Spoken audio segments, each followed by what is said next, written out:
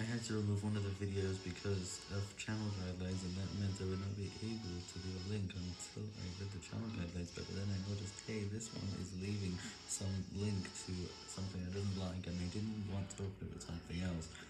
and it was just bad, so as a result I just decided to completely remove the video from the list, because I thought, hey, I can't promote from this video on my YouTube app without having to go through an external subsite, so I can't. Just not a good feature, and YouTube just should remove channel guidelines as it's just not on 100% of the channels still.